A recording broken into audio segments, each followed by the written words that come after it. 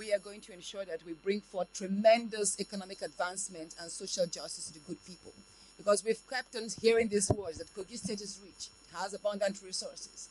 And that invariably led us, and myself in particular, to advocate for the revival of the Ajaokuta Steel Company in the past four years. And that which we have seen today, that the steel plant has over 500 billion naira laying now for the revival.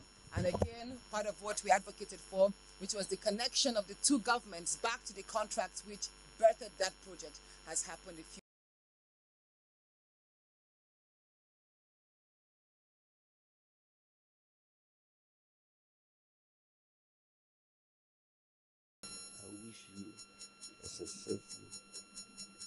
peace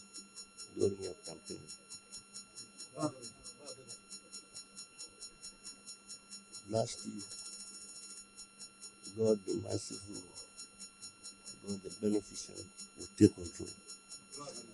Thank you and God bless you.